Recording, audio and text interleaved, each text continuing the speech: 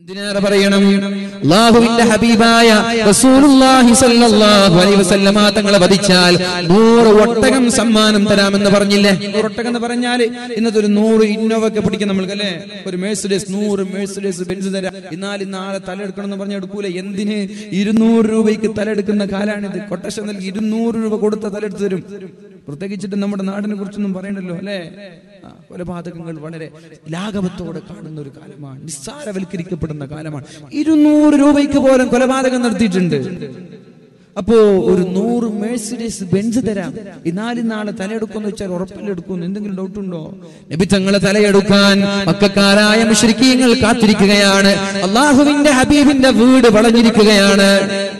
രക്ഷപ്പെടാനുള്ള സാധ്യത വളരെ കുറവാണ് കാരണം ആ വീട് വളഞ്ഞാൽ പിന്നെ രക്ഷപ്പെടാൻ പറ്റൂലോ പക്ഷേ നബിത്തങ്ങൾ പരിശുദ്ധമായ സൂറത്തു യാസീൻ പാരായണം ചെയ്യുന്നുണ്ട് യാസീൻ വൽ ഖുർആനിൽ ഹകീം إنا جعلنا في أعناقهم أغلالا فهي إلى الأذقان فهم مقمحون وجعلنا من بين أيديهم എന്നോതി ഒരു പിടി മണ്ണ് വാരി അള്ളാഹുവിന്റെ ഹബീബിനെ വധിക്കാൻ. ഒരു പിടിച്ച വാളുമായി നിൽക്കുന്ന കിരന്മാരുടെ മുഖത്തെ കറിഞ്ഞപ്പോൾ അവരൊന്ന് കണ്ണ് തിരുമി തുറക്കുന്നതിന് മുമ്പേ അവരുടെ ഇടയിലൂടെ അള്ളാഹുവിന്റെ ഹബീബ് രക്ഷപ്പെട്ടു.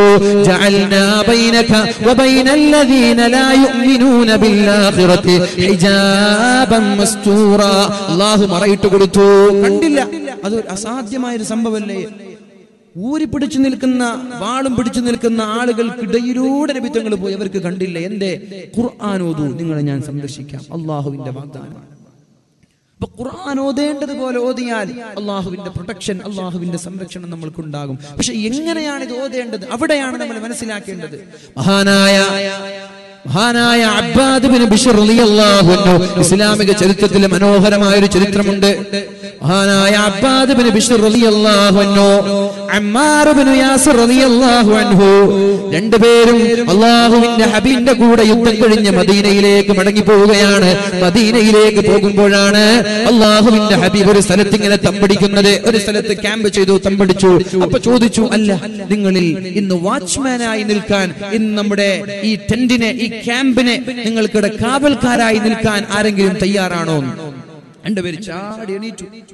നബിയെ ഞങ്ങൾ തയ്യാറാണ്. ആരാണ്? ഒന്ന് അബ്ബാദ് ബിൻ ബിഷർ. രണ്ട് മഹാനായ അമ്മാർ ബിൻ യാസിർ റളിയല്ലാഹു അൻഹു. രണ്ടുപേരും നബി തങ്ങൾ പറഞ്ഞു ഏതൊക്കെ സമയത്ത് ആരൊക്കെ നിൽക്കണമെന്ന് നിങ്ങൾ തീരുമാനിച്ചോളൂ. അപ്പൊ മഹാനായ അബ്ബാദ് തങ്ങൾ പറഞ്ഞു രാത്രിയുടെ ആദ്യ പകുതി ഞാൻ നിൽക്കാം രണ്ടാമത്തെ പകുതി നിങ്ങൾ നിൽക്കണം. യുദ്ധം കഴിഞ്ഞ് മടങ്ങി വരാൻ ആ യുദ്ധത്തിൽ തോറ്റുപോയ സൈന്യം തിരിച്ചു വന്ന് മഹാന്മാരായ പ്രവാചകന്മാരെ ആക്രമിക്കാനുള്ള സാധ്യതയുള്ളത് കൊണ്ടാണ് രണ്ട് കാവൽക്കാരെ വെച്ച് മഹാനായ നബി തങ്ങൾ ഉറങ്ങാൻ കൊടുക്കുന്നത്. പറഞ്ഞു അമ്മാരെ നീ ഉറങ്ങിക്കോളൂ. ഞാൻ എന്റെ സമയം കഴിഞ്ഞാൽ നിന്നെ വിളിക്കാം. രാത്രിയുടെ രണ്ടാമത്തെ പകുതിയിൽ എണീറ്റാൽ മതി. എല്ലാരും ഉറങ്ങി. കൂർക്കം വിളിക്കാൻ നിശയുടെ നിശബ്ദത. കൂര കൂരിരുട്ടിൽ ആ ശ്മശാന മുഖതയിൽ പച്ചിലകളും മരങ്ങളും കല്ലുകളും അള്ളാഹുവിന്റെ അള്ളാഹുവിന്റെ അള്ളാഹുവിന് വേണ്ടി തസ്ബീഹ് ചെല്ലുന്നത് പോലെ മഹാനായ അബ്ബാദ് തങ്ങൾക്ക് തോന്നാണ് يسبح لله ما في السماوات وما في الأرض ഭൂമിയിലുള്ള സകലമാന വസ്തുക്കളും ആകാശങ്ങളിലുള്ളവരും അള്ളാഹുവിന് തസ്ബീഹ് ചെല്ലുന്നുണ്ട് എന്തിനേറെ ഈ ചരൽ കല്ലുകൾ വരെ അള്ളാഹുവിന് തസ്ബീഹ് ചെല്ലുന്നുണ്ട് നമ്മുടെ വീട്ടിന്റെ മുറ്റങ്ങളിലുള്ള മരങ്ങളിലുള്ള ചില്ലകളിലുള്ള ഓരോ ഇലകളും അള്ളാഹുവിന് തസ്ബീഹ് ചെല്ലുന്നുണ്ട് നമ്മളത് കേൾക്കുന്നില്ല നമ്മളത് അറിയുന്നില്ല എന്തിനേറെ പറയണം? മലം തറ. യസ്ജുദു ലഹു മൻ ഫിൽ ഭൂമിയിലുള്ള എല്ലാ ആളുകളും ആകാശങ്ങളിലുള്ള എല്ലാ ആളുകളും അള്ളാഹുവിന് സുജൂത് ചെയ്യുന്നത് നബിയെ അങ്ങ് കാണുന്നില്ലേ? നബി തങ്ങളത് കണ്ടിട്ടുണ്ട് നമ്മൾക്ക് കാണാൻ പറ്റുന്നില്ല. കാരണം ആ കണ്ണ് ആ കാണാൻ പറ്റുന്ന കണ്ണായി മാറിയിട്ടില്ല. സുജൂദ് ചെയ്യുന്നുണ്ട്. ചന്ദ്രനും സുജൂത് ചെയ്യുന്നുണ്ട്. പർവതങ്ങളും സുജൂത് ചെയ്യുന്നുണ്ട് മരങ്ങളും സുജൂത് ചെയ്യുന്നുണ്ട്. എല്ലാവരും അള്ളാഹുവിൻ സുജൂത് ചെയ്യുന്നത് നബിയെ അങ്ങ് കാണുന്നില്ലേ? നമ്മൾ ആരെങ്കിലും കണ്ടിട്ടുണ്ടോ? സൂര്യൻ സുജൂത് ചെയ്യുന്നുണ്ടെന്നാണ്. ദിനേന ചന്ദ്രൻ സുജൂത് ചെയ്യുന്നുണ്ട്. മരങ്ങൾ നമ്മുടെ വീട്ടിന്റെ മുറ്റങ്ങളിലുള്ള മരങ്ങളും കോഴികളും മൃഗങ്ങളും മാടുകളും പശുക്കളും അള്ളാഹുവിന് വേണ്ടി സുജൂത് ചെയ്യുന്നുണ്ട് പറയുന്നത് ഞാനല്ല. ഇത് അള്ളാഹുവിന്റെ വചനമാണ്. നമ്മളത് കണ്ടിട്ടില്ല. കാണാനുള്ള കണ്ണായിട്ടില്ല ഇത് കാണാനോ ഇത് കാണാൻ എളുപ്പ വഴിയുണ്ട് ചെറുപ്പക്കാർക്ക് എല്ലാവർക്കും കാണാം സൂര്യൻ സുജൂത് ചെയ്യുന്നത് കാണാം മരം സുജൂത് ചെയ്യുന്നത് കാണാം കല്ല് തസ്ബീഹ് ചെല്ലുന്നത് കാണാൻ വളരെ സിമ്പിളാണ് പക്ഷേ അതിലനുസരിച്ച് ജീവിക്കാൻ പഠിക്കണം എന്ത് വേണം ما زال عبدي بالنوافل يقرب حتى أكون له يدا أو أرجلا അല്ലെ സുന്നത്ത് നിങ്ങൾ അധികരിപ്പിക്കുമ്പോൾ നിങ്ങളുടെ കണ്ണ് ഞാനായി മാറും. സുന്നത്തിൽ അധിഷ്ഠിതമായ ജീവിതം നയിക്കുക. നിങ്ങളുടെ കണ്ണ് ഞാനായി മാറും. ഈ കണ്ണ് അള്ളാഹുവായി മാറിയാൽ ഇവിടെ കിടക്കുന്ന കല്ല് സുജൂത് ചെയ്യുന്നത് കാണാൻ പറ്റൂല. ഇത് അള്ളയാണ്. ഈ കണ്ണ് റബ്ബിന്റെ കണ്ണാണ്. അള്ളാഹു കാണുന്നതൊക്കെ കാണാൻ ഈ കണ്ണിന് സാധിക്കും. എന്ത് വേണം? നിങ്ങൾ സുന്നത്ത് അധികരിപ്പിക്കണം. സുന്നത്ത് അധിഷ്ഠിതമായ ജീവിതം നിങ്ങൾ മുന്നോട്ട് നയിക്കണം. എല്ലാം സുന്നത്ത്. ജീവിതം തന്നെ സുന്നത്തിൽ അധിഷ്ഠിതമായാൽ പലതും നിങ്ങൾക്ക് കാണാൻ പറ്റും. ആകാശലോകങ്ങളിലുള്ള നിഗൂഢതകൾ അവിടെയുള്ള ഈ കണ്ണുകൊണ്ട് സുന്നത്തിൽ അധിഷ്ഠിതമായി ജീവിച്ചാൽ മതി. വളരെ സ്വഹയായ ഇത് ഞാൻ എന്റെ വക പറയല്ല. അല്ലേ? ഇവർ നിങ്ങൾ എന്താ പറഞ്ഞത്? സുന്നത്ത് അധികരിപ്പിച്ചാൽ നിങ്ങളുടെ കണ്ണ് ഞാനായി മാറും. നിങ്ങളുടെ ചെവി ഞാനായി മാറും. നിങ്ങളുടെ കൈ ഞാനായി മാറും. നിങ്ങളുടെ കാൽ ഞാനായി മാറും. അപ്പോഴാണ് ചില അള്ളാഹുവിന്റെ ഔലിയാക്കൾ കണ്ണ് കാണാത്ത ആളുടെ കണ്ണിൽ നിന്ന് തടവും ോ ആ കണ്ണിന് കാഴ്ച ലഭിക്കുന്നത് കാരണം ഈ കൈ അള്ളാഹുവിന്റെ കൈയാണ്. സുന്നത്ത് അധികരിപ്പിച്ചപ്പോ ഈ കൈ അള്ളാഹുവിന്റെ കൈയായി മാറി. ചില ആളുകൾ മന്ത്രിച്ചുതുമ്പോ ക്യാൻസറിന് ശിഫ ലഭിക്കുന്നത് ഈ ചുണ്ട് ഈ നാവ് റബ്ബിന്റെ നാവായി മാറി. കുപ്പിക്കാകത്തുള്ള വസ്തുവിനെ പോലെ കാൺമാൻ ഞാൻ നിങ്ങളെ കൽബകം എന്നോവാ. എന്തേ ഇത് പറഞ്ഞത്? മഹാനായ മുഹിയദ്ദീൻ ഷേഖ് നിങ്ങളുടെ ഹൃദയങ്ങൾ ഹൃദയങ്ങൾക്കകത്തളങ്ങളഞ്ഞിരിക്കുന്ന രഹസ്യങ്ങൾ എനിക്ക് കാണാമെന്ന് പറഞ്ഞത് വെറുതെയല്ല. ഈ കണ്ണ് റബ്ബിന്റെ കണ്ണായി മാറി. ഇത് അള്ളാഹുവിന്റെ കണ്ണാണ്. അള്ളാഹുവിന്റെ കണ്ണായ ഇവിടെ ഇരിക്കുന്ന ആളുകൾക്ക് എത്ര ആളുകൾക്ക് ഇതൊരു പത്ത് മണി വരെ പോകണം അല്ലെ ഒമ്പതരക്ക് നിർത്തണം എന്നുള്ളതൊക്കെ വേല പറയുന്ന ആൾക്ക് കാണാൻ പറ്റും നമ്മുടെ കണ്ണ് അള്ളാഹുവിന്റെ കണ്ണാവണം. എളുപ്പമാണ് ചെറുപ്പക്കാരൊക്കെ ജീനിൽ അധിഷ്ഠിതമായി ജീവിക്കുക. സുന്നത്ത് മുറുകെ പിടിച്ച് ജീവിക്കുക. അള്ളാഹു തൂഫിക്ക് ചെയ്യട്ടെ. ഏതായാലും അദ്ദേഹം ഇങ്ങനെ മരങ്ങളും പച്ചിലകളും എല്ലാം അള്ളാഹുവിൽ തസ്ബീഹ് ചെല്ലുമ്പോൾ അദ്ദേഹത്തിന് തോന്നി ആരും കാണാത്ത ആരും കാണാത്ത ആരും ശ്രദ്ധിക്കാത്ത ഒരു ഇരുട്ടിൽ അള്ളാഹുമായിട്ടൊന്ന് സംസാരിക്കാതെ അള്ളാഹുമായിട്ടൊരു അഭിമുഖം. അള്ളാഹുമായിട്ടൊരു സംസാരം. പിന്നെ ഒന്നും ആലോചിച്ചില്ല പതുക്കെ പോയി വുളൂ ചെയ്തു എന്നിട്ട് ആ ശ്മശാന മൂകതയിൽ പതുക്കെ അള്ളാഹുവിന് കൈകെട്ടി എന്നിട്ട് ഫാത്തിഹ ഓതി ഫാത്തിഹ ഓതി സൂറത്ത് താൻ തുടങ്ങി ബിസ്മില്ലാഹിർ റഹ്മാനിർ റഹീം الحمد لله الذي أنزل على عبده الكتاب ولم يجعل له عوجا. قيما لينذر قيما لينذر بأسا شديدا. بأسا شديدا من لدن ويبشر المؤمنين الذين يعملون الصالحات أن മഹാനായ അബ്ബാദ് തങ്ങൾ ഓതി ഓതി ഓതി അൽ സൂറത്തിന്റെ മാധുര്യം ശരീരത്തിലേക്ക് കയറി. ഞാൻ ചോദിക്കട്ടെ എന്നെങ്കിലും ഖുർആൻ ഓതുമ്പോ മനസ്സിലേക്ക് ഒരു ടേസ്റ്റ് ലഭിച്ചിട്ടുണ്ടോ? സിനിമ കാണുമ്പോഴുണ്ടാകുന്ന മാധുര്യം കളി കാണുമ്പോഴുണ്ടാകുന്ന മാധുര്യം സീരിയൽ കാണുമ്പോഴുണ്ടാകുന്ന മാധുര്യം കാമുകി കാമുകന്മാർ സംസാരിക്കുമ്പോഴുണ്ടാകുന്ന ഒരു മാധുര്യം പരിശുദ്ധമായ ഖുർആൻ ഓതുമ്പോൾ എന്നെങ്കിലും നമ്മൾക്ക് ലഭിച്ചിട്ടുണ്ടോ? ഇല്ല കാരണമുണ്ട്. കാരണമുണ്ട്. ഓതേണ്ടതുപോലെ ഓതുന്നില്ല. ഓതേണ്ടതുപോലെ ഓതുന്നില്ല. അദ്ദേഹത്തിന് ഇത് വല്ലാതെ അങ്ങോട്ട് ആകർഷിച്ചു ഓതാണ് وينذر الذين قالوا اتخذ الله ولدا ഓതി ഓതി ഓതിക്കൊണ്ടിരിക്കുമ്പോ ദൂരെ നിന്നൊരു അമ്പ് ശരീരത്തിലേക്ക് തുളച്ചു കയറാൻ ശരീരത്തിലേക്ക് ഒരു അമ്പ് തുളച്ചു കയറി രക്തം വാർന്നൊലിക്കാൻ തുടങ്ങി പക്ഷേ ഈ അൽക്കഹഫിന്റെ മാധുര്യത്തിൽ അദ്ദേഹം നിസ്കാരത്തിൽ നിന്ന് കൈയുപേക്ഷിച്ചില്ല നമ്മളോ കൈകെട്ടാൻ പെട്ടെന്നാണ് ഒരു കൊതുകടിക്കുന്ന ഒറ്റ അടി ഫാത്തിഹ ഓതുന്നത് പോലും അറിയാതെ കൊതുകടിച്ച അടി അല്ലെങ്കിൽ പല്ലിങ്ങനെ ഒരു പ്രാണിയെ പിടിക്കാൻ പോവാൻ നമ്മളതിങ്ങനെ ഇമാം ഇങ്ങനെ ഓതാൻ പല്ലിങ്ങനെ പ്രാണി പിടിക്കാൻ പോകുമ്പോൾ നമ്മളിങ്ങനെ നോക്കി നോക്കി പല്ലി അറ്റാക്ക് ചെയ്യുമ്പോൾ നമ്മൾ ഇല്ലേ? സംഭവിക്കാറില്ല നമ്മൾ ജീവിതത്തിൽ സംഭവിക്കാറില്ല ഈ സംഭവങ്ങൾ എന്തേ? നമ്മൾക്ക് അതിലൊരു മാധുര്യം ലഭിക്കുന്നില്ല. അതാണ്. ഇദ്ദേഹം മോദി ഒന്നാമത്തെ അമ്പ് ശരീരത്തിലേക്ക് തുളച്ച് കയറി ശരീരത്തിൽ നിന്ന് രക്തം ഇങ്ങനെ വാർന്നൊലിച്ചു കൊണ്ടിരിക്കുമ്പോ അദ്ദേഹത്തിന് ഈ ഖുർആാനിനോടുള്ള സൂറത്തുൽ കഹഫിനോടുള്ള മാധുര്യം കൊണ്ട് ആ ഒരു ടേസ്റ്റ് കൊണ്ട് നിസ്കാരത്തിൽ നിന്ന് കൈ ഉപേക്ഷിക്കാൻ തോന്നിയില്ല. ഞാൻ ചോദിക്കട്ടെ? റെയിൽ പാളത്തിലൂടെ കാമുകിയുമായി ഹെഡ്ഫോൺ വെച്ച് സംസാരിച്ചു കൊണ്ടുവരുന്ന ഒരാൾ പിന്നിലൂടെ വരുന്ന ട്രെയിനിന്റെ ചൂളം വിളി എന്തേ കേൾക്കാത്തത്? എന്തേ കേൾക്കാത്തത്? ട്രെയിൻ ഇങ്ങനെ വരാൻ ചൂളം വിളിച്ചു വരാൻ. പക്ഷേ തന്റെ കാമുകിയുമായി സംസാരത്തിലും സല്ലാപത്തിലുമാണ്. പക്ഷേ ഈ ചൂളം വിളി കേട്ടില്ല കാമുകിയുടെ ശബ്ദത്തെക്കാളും ഉച്ചത്തിലുള്ള പെരുമ്പറ മുഴക്കിക്കൊണ്ട് ട്രെയിൻ വരുമ്പോൾ കേൾക്കാതെ ആ ട്രെയിനിന്റെ അടിയിൽ വീണ് ചത്തുപോവാൻ ട്രെയിനിന്റെ അടിയിൽ വീണ് മരിച്ചു പോവാൻ. എന്തേ? അവന്റെ മനസ്സ് കൂടുതൽ എൻഗേജ് ആയി കിടക്കുന്നത് കാമുകിയുമായി അത്രയും ലയിച്ചു കിടക്കാൻ അപ്പോൾ ട്രെയിനിന്റെ ശബ്ദം കേൾക്കൂല അടിച്ചാലറിയില്ല മോഷ്ടിച്ചാലറിയില്ല ഒന്നും അറിയൂല. അതേപോലെ മഹാന്മാരായ സഹാബാക്കൾ ഖുർആാനിൽ ലയിക്കുകയാണ് ഒന്നാമത്തെ അസ്ത്രം ശരീരത്തിലേക്ക് തുറച്ച് കയറി രക്തം വാർന്നിരിച്ചിട്ടും ഖുർആൻ ഉപേക്ഷിച്ചില്ല വീണ്ടും ഓതാൻ. രണ്ടാമത്തെ അമ്പും രണ്ടാമത്തെ അസ്ത്രവും ശരീരത്തിലേക്ക് കയറി ശരീരത്തിൽ നിന്ന് രക്തം ധാരധാരയായി ഒഴുകാണ് വീണ്ടും മോതാൻ തുടങ്ങി. മനോഹരമായി അദ്ദേഹം ഒച്ച പോലും വെക്കാതെ നോക്കണം നിങ്ങൾ പച്ച ഇറച്ചിയിലേക്ക്. അസ്ത്രം തുളച്ചു കയറുമ്പോഴുണ്ടാകുന്ന വേദന മീശ മുറിക്കുമ്പോൾ നമ്മുടെ കത്രിക കൊണ്ട് ചുണ്ടെന്ന് മുറിഞ്ഞാൽ അല്ലെങ്കിൽ ഒരു പത്തിരി ചുടുമ്പോൾ ഗ്യാസ് സിലിണ്ടറിൽ നിന്ന് ഒരു തീപ്പൊരി ഒരു സ്പാർക്ക് കയ്യിലേറ്റാൽ എത്ര വിഷമമാണ് നമ്മൾക്കുണ്ടാകുന്നത്. പച്ച ഇറച്ചിയിലേക്ക് അസ്ത്രം തുളച്ചു കയറാണ്. മൂന്നാമത്തെ അസ്ത്രവും തുളച്ചു കയറി. ഞാനിപ്പോൾ മരിച്ചു വീഴുമെന്ന് പേടിച്ചപ്പോ തന്റെ നിസ്കാരത്തിൽ നിന്ന് കൈവേശിച്ചുകൊണ്ട് അമ്മാർ അമ്മാർ എന്ന് പറഞ്ഞ അമ്മാറിനെ വിളിക്കാൻ. എന്തുപറ്റി? നോക്കുമ്പോ ശരീരം മുഴുവനും രക്തം കൊണ്ട് കുടിച്ചിരിക്കുകയാണ്. എന്തുപറ്റി അബാദ് എന്തു പറ്റി എന്ന് ചോദിച്ചപ്പോ മഹാനായ അബ്ബാദ് തങ്ങൾ പറഞ്ഞു അമ്മാരെ ശരീരത്തിലേക്ക് ആരോ അമ്പ് ചെയ്ത് വിട്ടു. അന്ന് നേരത്തെ പറയാമായിരുന്നില്ലേ?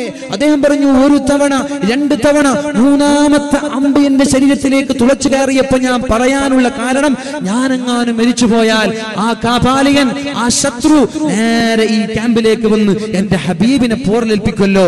ഹബീബനോട് വാച്ച്മാനായി നിൽക്കാൻ പറഞ്ഞതല്ലേ? ഹബീബ് ഏൽച്ച ഉത്തരവാദിത്വം ചെയ്യാതെ മരിച്ചാൽ അത് പിഴവാവൂലേ? അതുകൊണ്ടാണ് ഞാൻ കൈവേക്ഷിച്ചത് ആയിരക്കണക്കിന് അമ്പുകൾ എന്റെ ശരീരത്തിലേക്ക് നാല് ഭാഗത്ത് നിന്നും തുരുതുരാ എന്റെ ശരീരത്തിലേക്ക് കയറിയാലും ഈ സൂറത്തുൽ ഖൽഫിൽ നിന്ന് ഞാൻ വിട പറയുമായിരുന്നില്ല എന്ന് പറയുമ്പോൾ ഇവർ ഖുർആാനിൽ ലയിച്ചവരാണ്. നമ്മൾ ഖുർആൻ പേരിന് വേണ്ടി ഓതുന്നവരാണ്.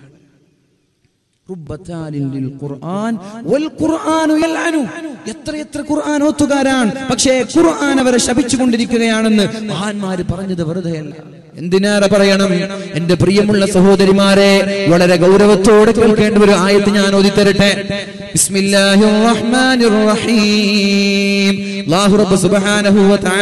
പരിശുദ്ധമായ ഖുർആനിൽ പറയാണ് എങ്ങനെയാണ് നിങ്ങൾ ഖുർആൻ ഓതേണ്ടത്?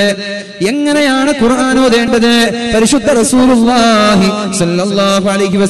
തങ്ങൾ ഖുർആനിലൂടെ പറഞ്ഞു തരികയാണ്. എന്തിനാണ് ഈ ഖുർആാനിറക്കിയത് കിതാബുൻ അൻസൽനാഹു ഇലൈക്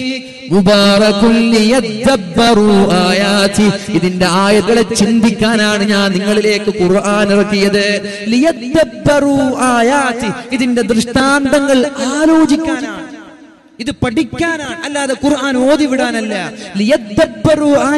എന്ന് പറഞ്ഞാൽ ഓരോ ആയത്തുകളും സൂക്ഷ്മമായ പരിശോധന നടത്താനാണ്. ഉസ്താദെ ഞാൻ പഠിച്ചില്ലല്ലോ.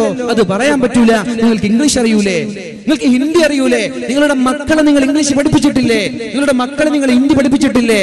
എന്റെ അറബി പഠിപ്പിക്കാത്തത്? എന്റെ അറബി പഠിക്കാനുള്ള സംവിധാനങ്ങൾ ഇവിടെ ഉണ്ടല്ലോ? പഠിക്കാനുള്ള സൗകര്യമുണ്ടല്ലോ. അതുകൊണ്ട് എനിക്ക് മലയാളമേ അറിയുള്ളൂ. എനിക്ക് അറബി അറിയൂല എന്നൊരു എക്സ്ക്യൂസ് പറയാൻ പറ്റൂല. കാരണം എന്തുകൊണ്ട് പറയാൻ പറ്റൂല? പഠിക്കാനുള്ള സൗകര്യങ്ങൾ നമ്മുടെ മുന്നിലുണ്ട്. നിങ്ങൾ ഓതുന്ന സൂറത്തുൽ നിങ്ങൾ ഓതുന്ന സൂറത്തുൽ വാക്യ. മഹാന്മാരിൽ ചില ആളുകൾ പറയുന്നുണ്ട് സൂറത്തുൽ വാക്യ പാരായണം ചെയ്താൽ പരിശുദ്ധമായ സൂറത്തുൽ മുൽക്ക് ഓതിയാൽ നിങ്ങൾക്ക് ആഖിറം രക്ഷപ്പെടാം. രണ്ട് സൂറത്തുണ്ട്. ഒരു സൂറത്ത് ഓതിയാൽ ആഖിറം രക്ഷപ്പെടാം. രണ്ടാമത്തെ സൂറത്ത് ഓതിയാൽ ദുനിയാവും രക്ഷപ്പെടാം. അറിയൂലേ? രണ്ട് സൂറത്തുണ്ട്. ദുനിയാവും രക്ഷപ്പെടും ആഖിറവും രക്ഷപ്പെടും. ഏത് സൂറത്ത് അറിയൂലേ? ആർക്കും അറിയാത്തത്? പക്ഷെ ആരാണ് ഇവിടെ ഓതുന്നവർ? അവിടെയാണ് ചർച്ച. ഏതൊക്കെയെന്ന് ചോദിച്ചാൽ പറയൂലേ? ആഹ്റം രക്ഷപ്പെടുന്ന സൂറത്ത് സദസ് കുറെ അപ്പുറത്താണ്. അതുകൊണ്ട് സദസ്സുമായി നല്ലൊരു ടച്ച് ഒരു സമീപനം കിട്ടുന്നില്ല.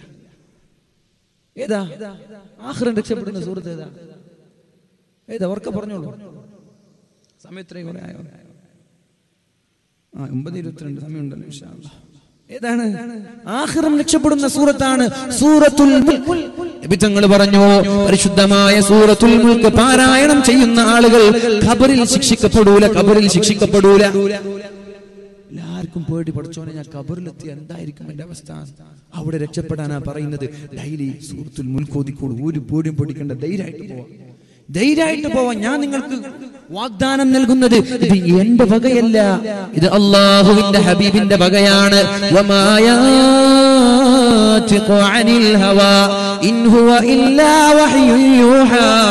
ഇത് അള്ളാഹു പറയാൻ പറഞ്ഞ വിഷയങ്ങളാണ്. അള്ളാഹുവിന്റെ ഹബീബ് സ്വമേധയാ ഒന്നും പറഞ്ഞിട്ടില്ല. ആ ഹബീബാണ് പറയുന്നത് കബർ ജീവിതം രക്ഷപ്പെടാൻ കബർ ജീവിതത്തിൽ പ്രയാസങ്ങളില്ലാതിരിക്കാൻ. മകരവിന്റെ ബാങ്ക് വിളിച്ചാൽ സൂറത്തുൽ മുൽക്ക് പാരായണം ചെയ്യണം. എത്ര ഓതുന്ന ആളെന്ന് കൈപൊക്കി നോക്കട്ടെ? മകരവിസ്കാരത്തിന് ശേഷം സൂറത്തുൽ മുൽക്ക് ഓതുന്ന എത്ര ആളുണ്ട്? ഒന്ന് നോക്കി എല്ലാവരും ഒന്ന് തിരിഞ്ഞു നോക്കി. എത്ര പേരുണ്ട് നോക്കിയേ? ഒന്ന് നോക്കി ഇത് അറിയാഞ്ഞിട്ട് താഴ്ച അലഹമില്ല എത്ര ആളെങ്കിലും അലഹമില്ല ഉദാഹരണമുണ്ടോ? ഒതിക്കൂടെ അഞ്ച് മിനിറ്റ് മതി സൂറത്തുൽ മുൽക്ക് പാരായണം ചെയ്യാൻ. വാട്സപ്പിൽ കളിച്ചിരിക്കുന്നില്ല? വന്ന ഗ്രൂപ്പുകളിലൊക്കെ ടെക്സ്റ്റുകൾ തുറന്നു നോക്കി ഫോർവേഡ് ചെയ്ത് ഫേസ്ബുക്ക് നിരന്തരമായി സ്ക്രോൾ ചെയ്ത് അപ്ഡേറ്റ് ചെയ്ത് നോക്കാറില്ലേ? ഈ സമയം വേണ്ടല്ലോ ഒരു സൂറത്തുൽ മുൽക്ക് ഓതാൻ. ഇത് എനിക്ക് വേണ്ടിയാണോ? അല്ല നമ്മുടെ സ്ഥാപനത്തിന് വേണ്ടിയാണോ? അല്ല ഇത് നിങ്ങൾക്ക് വേണ്ടിയാണ്. നിങ്ങളുടെ ആഹ്റം രക്ഷപ്പെടാൻ നിങ്ങൾക്ക് ഹബീബിൽ വിശ്വാസമുണ്ടെങ്കിൽ നിങ്ങൾ ഇത് തുടരണം. ഹബീബിൽ വിശ്വാസമുണ്ടെങ്കിൽ ഇത് മുത്ത ഹബീബ് ഒരു വിഷയം പറഞ്ഞാൽ അത് അതുപോലെ നടക്കുമെന്നതിൽ നൂറിൽ നൂറ്റിപ്പത്ത് ശതമാനം ഉറപ്പാണ്. ഒരു ഡൗട്ടും ഇല്ല വിഷയത്തിൽ നബി തങ്ങളാ പറഞ്ഞത്. സൂറത്തുൽ മുൽക്ക് പാരായണം ചെയ്താൽ ഖബറിന്റെ അദാബിൽ നിന്ന് രക്ഷപ്പെടാം. എന്താണ് ഈ ഖബർ എന്ന് പറഞ്ഞാൽ? മഹാനായ ഉസ്മാൻ ഇബ്നു അഫ്ഫാൻ റളിയല്ലാഹു അൻഹു കരഞ്ഞു പോയ വീടാണത് ഉസ്മാൻ തങ്ങൾ കരഞ്ഞു പോയില്ലേ ല്ലേ? ഖബറെന്ന് കേട്ടാൽ തൽക്ഷണം ഞെട്ടേണ്ടതാ. എത്ര പേര് ഞെട്ടുന്നുണ്ട്? അള്ളാഹുവിന്റെ മനോഹരമായ ഈ മസ്ജിദ് മാലിക് ദിനാറിലേക്ക് കടന്നു വരുമ്പോ ആദ്യമായി നമ്മുടെ കണ്ണിലേക്ക് കടന്നു വരുന്നത് വിശാലമായി നീണ്ടു കിടക്കുന്ന കബറിസ്ഥാനല്ലേ? ആ കബർ കാണുമ്പോൾ എത്ര ആളുകൾ പേടിക്കുന്നുണ്ട്. എത്ര ലാഘവത്തോടെയാണ് നടന്നു പോകും എത്ര നിസ്സാര ഭാവത്തോടെയാണ് നടന്നു പോകുന്നത്. പക്ഷേ ആ കബർ വിളിച്ചു പറയുന്നുണ്ട് ഇന്ന് എത്ര അഹങ്കാരത്തോടെ നടന്നാലും നാളെ നിന്നെ എനിക്ക് കിട്ടാൻ പോകുന്നുണ്ട് എന്ന് കബർ വിളിച്ചു പറയുന്നത് നമ്മൾ കേൾക്കുന്നില്ലല്ലേ? നമ്മൾ തിരിച്ചറിഞ്ഞിട്ടില്ല. ഉസ്മാൻ തങ്ങളോട് ചോദിച്ചു എന്തിനാണ് ഇങ്ങനെ കബറിനെ കുറിച്ച് പറയുമ്പോൾ കേൾക്കുന്നത്? കബറിനെക്കാളും ഗൗരവല്ലേ നരകം? കബറിനെക്കാളും ഗൗരവമല്ലേ മഹ്ഷറ? കബറിനെക്കാളും ഗൗരവമല്ലേ സിറാത്ത്? നിങ്ങൾ എന്തിനാ ഈ കബറിനെ ഇങ്ങനെ പേടിച്ചു കരയുന്നത്? കേൾക്കണം അപ്പോഴാണ് ഉസ്മാൻ തങ്ങൾ പറഞ്ഞത്. ഞങ്ങൾ മരിച്ചാൽ ഉഹ്രബിയായ ജീവിതത്തിന്റെ തുടക്കം കുറിക്കുന്നത് കബറിൽ വെച്ചാണ്. ആഹ്റത്തിലേക്കുള്ള ജീവിതത്തിന്റെ പ്രാരംഭം കുറിക്കുന്നത് കബറിലാണ് അവിടെ വിജയിച്ചാൽ പിന്നെ എല്ലാം വിജയമാണ്. അവിടെ തോറ്റാൽ പിന്നെ എല്ലാം തോൽവി തന്നെ. പിന്നെ എല്ലാ പരാജയം തന്നെ. അതുകൊണ്ട് കബറിനെ കുറിച്ച് പേടിക്കാനുള്ള കാരണം ഞാൻ മരിച്ചിട്ട് ആദ്യം പോകുന്ന വീടാണ് കബറിടം അവിടെ രക്ഷപ്പെട്ടാലേ എനിക്ക് സന്തോഷം ഉണ്ടാവുകയുള്ളൂ. ആ കബറിടം രക്ഷപ്പെടാൻ മുത്ത ഹബീബ് പഠിപ്പിച്ചു തന്നത് സൂറത്തുൽ മുൽക്ക് പാരായണം ചെയ്യണം. ചില മഹാന്മാര് പറയുന്നുണ്ട് അർത്ഥം അറിഞ്ഞ് പാരായണം ചെയ്താലേ ഈ നിമിത്തങ്ങൾ പറഞ്ഞ ഓഫർ കിട്ടുള്ളൂ. അപ്പൊ നിങ്ങൾ പറയും ഞാൻ പഠിച്ചിട്ടില്ല. അപ്പോഴാണ് നിങ്ങളോട് എനിക്ക് പറയാനുള്ളത് ഒന്ന് യൂട്യൂബിൽ ചെന്നാൽ മതി. സൂറത്തുൽ മുൽക്ക് part one part two part three part four ഇങ്ങനെ പാർട്ട് ഫിഫ്റ്റീൻ സിക്സ്റ്റീൻ ട്വന്റി വരെ ഇരുപതോളം പാർട്ടുകളായി ഖുർആാനിന്റെ സൂറത്തുൽ മുൽക്കിന്റെ തഫ്സീറുകൾ. നിങ്ങൾക്ക് മലയാളം അറിയൂലേ? മലയാളത്തിൽ ക്ലാസ് എടുക്കുന്ന വാൽ യൂട്യൂബിലുണ്ട്. നിങ്ങൾക്ക് അറബി അറിയില്ലെങ്കിൽ മലയാളം അറിയൂലേ? ഇനി ഇംഗ്ലീഷ് അറിയൂലേ? ഏതെങ്കിലും ഒരു ലാംഗ്വേജ് അറിയൂലേ? അതുകൊണ്ടാണ് നിങ്ങൾ പരിശുദ്ധം. അപ്പൊ നിങ്ങൾ ചോദിക്കും സമസ്ത പണ്ട് പറഞ്ഞിട്ടുണ്ടല്ലോ ഖുർആൻ ട്രാൻസ്ലേറ്റ് ചെയ്യരുത് എന്ന്. അത് പറയാനുള്ള കാരണം നിങ്ങൾക്ക് ഇപ്പൊ തിരിച്ചറിഞ്ഞു എന്ന് എനിക്ക് തോന്നുകയാണ്. അല്ലെ? എന്തേ ഖുർആൻ ട്രാൻസ്ലേഷൻ ചെയ്യണ്ടെന്ന് പറഞ്ഞത്? എന്തേ ഖുർആൻ പരിഭാഷപ്പെടുത്തരുത് എന്ന് സമസ്ത പറഞ്ഞത്? മഹാനായ ശംസുലോലമയെ പോലുള്ള ആളുകൾ പരിശുദ്ധമായ Quran word by word translation ചെയ്യരുത് എന്ന് പറഞ്ഞത്. നമ്മൾ ഇന്ന് കേട്ടു സോഷ്യൽ മീഡിയയിലൂടെ ചിദാനന്ദ സ്വാമി ചിദാനന്ദ സ്വാമി എന്ന് പറയുന്ന സ്വാമി പരിശുദ്ധ ഖുർആൻ ഇന്ത്യയിൽ നിന്ന് ഇന്ത്യയിൽ നിന്ന് ബഹിഷ്കരിക്കാൻ ഇന്ത്യയിൽ നിന്ന് വിളിച്ചെറിയാൻ പെറ്റീഷൻ കൊടുത്ത കഥ പറയുന്നുണ്ട്.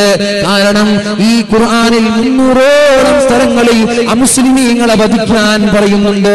സ്വാമി പറയാൻ മുന്നൂറോളം സ്ഥലങ്ങളിൽ അമുസ്ലിമീങ്ങളായ ഹൈന്ദവ വിശ്വാസികളെ അടക്കം വധിക്കാൻ ഖുർആനിൽ പറയുന്നുണ്ട്. സത്യമാണല്ലോ ഖുർആൻ അത് പറയുന്നുണ്ടല്ലോ. പറയുന്നില്ലേ. എവിടെ കണ്ടാലും കൊല്ലണമെന്ന് പറയുന്നില്ലേ? ല്ലേ? നിങ്ങളെ എങ്ങനെയാണോ അവർ വധിക്കുന്നത് അതേപോലെ നിങ്ങൾ അവരെയും വധിക്കണമെന്ന് പറയുന്നുണ്ട്. ഇവിടെയാണ് സുന്നത്ത് ജമാഅത്തിന്റെയും ബിദഅത്തിന്റെയും ആശയങ്ങളിൽ പ്രത്യേകമായ ഒരു വിശദീകരണം നമ്മൾ മനസ്സിലാക്കേണ്ടത്. എന്തേ ട്രാൻസ്ലേഷൻ വേർഡ് ബൈ വേർഡ് ചെയ്യണ്ട എന്ന് പറഞ്ഞത്. അള്ളാഹുവിനെ കൊണ്ട് വിശ്വസിക്കാത്ത ആളുകളെ നിങ്ങൾ വധിച്ചു കളയണമെന്ന് വേർഡ് ബൈ വേർഡ് ട്രാൻസ്ലേഷൻ വായിച്ചത് കൊണ്ടാണ് ചിദാനന്ദ സ്വാമിക്ക് തെറ്റുപറ്റിയത്. അദ്ദേഹം പറയുന്നുണ്ട് ഞാനൊരു മലയാള ട്രാൻസ്ലേഷൻ നോക്കി. രണ്ടാമത് വേറൊരു ട്രാൻസ്ലേഷൻ നോക്കി. മൂന്നാമത് മറ്റൊരു ട്രാൻസ്ലേഷൻ നോക്കി. ഇംഗ്ലീഷ് പരിഭാഷ ഞാൻ വായിച്ചു. എല്ലാത്തിലും പറയുന്നത് കൃത്യമായി ആ മുസ്ലിമീങ്ങളെ ബഹുദൈവ വിശ്വാസികളെ വധിക്കാനാണ്. എന്നാൽ ആ സ്വാമിയോട് വളരെ സ്നേഹത്തിൽ പറയട്ടെ. ഖുർആൻ മുസ്ലിമീങ്ങളെ വധിക്കാൻ പറയുന്നുണ്ട്. ഏത് മുസ്ലിമീങ്ങളെയാണ്? ഏത് സാഹചര്യത്തിലാണ് അത് പറഞ്ഞത്? ഏത് സാഹചര്യത്തിലാ ഇന്ത്യയിലുള്ള എല്ലാ മുസ്ലിങ്ങളെ വധിക്കാനാണോ? അല്ല. പിന്നെ ആരെ വധിക്കാനാണ്? അത് അത് മക്കാരായ മുഷരിക്കീങ്ങൾ പതിമൂന്ന് വർഷക്കാലം അല്ലാഹു എന്റെ റബ്ബാണ് മുഹമ്മദ് നബി എന്റെ പ്രവാചകനാണ്. കള്ളു കുടിക്കല്ലേ വ്യഭിചരിക്കല്ലേ ഹറാമ് തിന്നല്ലേ കൊലപാതകം നടത്തല്ലേ കുടുംബബന്ധം പുലർത്തണേ എന്നത് പറഞ്ഞതിന്റെ പേരിൽ സ്ത്രീകളെ ജീവനോടെ കുഴിച്ചു മൂടല്ലേ എന്ന് മാത്രം നന്മ മാത്രം പറഞ്ഞതിന്റെ പേരിൽ പതിമൂന്ന് വർഷക്കാലം വളരെ നിഷ്ഠൂരമായി പീഡിപ്പിച്ചിട്ട് ജനിച്ച നാടിൽ ജീവിക്കാൻ അനുവദിക്കാതെ മദീനയിലെ കാട്ടി ഓടിച്ചിട്ട് ആ മദീനയിൽ പോലും സ്വസ്ഥതയോടെ ജീവിക്കാൻ അനുവദിക്കാതെ വന്നപ്പോ മഹാന്മാരായ സഹാബാക്കൾ ലഭിത്തങ്ങളോട് ചോദിച്ചു നബിയെ ഞങ്ങൾ തിരിച്ചടിക്കല്ലേ? സ്വന്തം നാട്ടിൽ നിന്ന് മദീനയിലേക്ക് പറഞ്ഞയച്ചു. എന്നിട്ട് ഇവിടെയും വന്നിട്ട് അവർ കുരുത്തക്കേട് കാട്ടാണോ? തിരിച്ചടിക്കല്ലേ? അപ്പോഴാണ് പറഞ്ഞത് നിങ്ങൾ ആക്രമിക്കുന്ന ആളുകളെ നിങ്ങളും ആക്രമിച്ചോളൂ. ചില കരാറുകൾ നൽകിയിട്ടുണ്ട്. ഇനി ഒരിക്കലും മുസ്ലിമീങ്ങൾക്കെതിരെ യുദ്ധത്തിന് വരൂല എന്നും എന്നാൽ മറ്റുള്ളവർ വന്നാൽ മുസ്ലിമീങ്ങൾക്കെതിരെ സഹായിക്കൂല എന്ന് ഉടമ്പടി ചെയ്ത ആളുകൾ ആ കരാറ് വാഗ്ദാനം ലംഘിച്ചപ്പോ അവർ വധിക്കാൻ പറഞ്ഞിട്ടുണ്ട്. അല്ല ഇന്ത്യ രാജ്യത്തെ മുസ്ലിങ്ങളെ വധിക്കാനല്ല. ദീനിൽ ഒരാളെയും ബലമായി ഇങ്ങോട്ട് കൊണ്ടുവരേണ്ട ആവശ്യമില്ല. ഒരാളെയും കൊണ്ടുവരേണ്ട ആവശ്യമില്ല. അപ്പൊ എന്താ പ്രശ്നം എന്താ Quran word by word translation എടുത്തപ്പോ ഇത് വായിക്കുന്ന മുസ്ലിമീങ്ങൾ തെറ്റിദ്ധരിക്കാൻ തുടങ്ങി. സത്യത്തിൽ അവിടെ സാഹചര്യം കൂടി പറയാനായിരുന്നു. ആരെയാണ് ഈ വധിക്കാൻ പറഞ്ഞത്? എന്ത് സാഹചര്യത്തിനാണ് പറഞ്ഞത്? അതും കൂടി ചേർത്ത മാഷാ ഉദാഹരണം മഹാനായ ഇബ്നു കസീർ മഹാനായ ഇബ്നു അബ്ബാസ് ഇവരുടെ തഫ്സീർ അതേപോലെ മലയാളത്തിലേക്ക് ട്രാൻസ്ലേഷൻ ചെയ്ത കുഴപ്പമില്ല. ഈ പ്രശ്നങ്ങൾ ഉണ്ടാവൂല. ഇവർ തെറ്റിദ്ധരിക്കൂല. വേർഡ് ബൈ വേർഡ് ഖുർആൻ എന്താണോ പറഞ്ഞത്? അതേപോലെ മലയാളത്തിൽ ട്രാൻസ്ലേഷൻ ഉണ്ടാക്കിയപ്പോ അതാണ് വിദഗ്ധക്കാർക്ക് പിഴച്ചത് അതാണ് അതാണ് ഈ ചിദാനന്ദ സ്വാമിക്കും തെറ്റുപറ്റിയത്. അതുകൊണ്ട് മലയാള ട്രാൻസ്ലേഷൻ പഠിക്കുമ്പോൾ നമ്മൾക്കും തെറ്റുപറ്റി പോകും. അതുകൊണ്ട് അതിന്റെ ആഴത്തിലിറങ്ങണം. ആഴത്തിൽ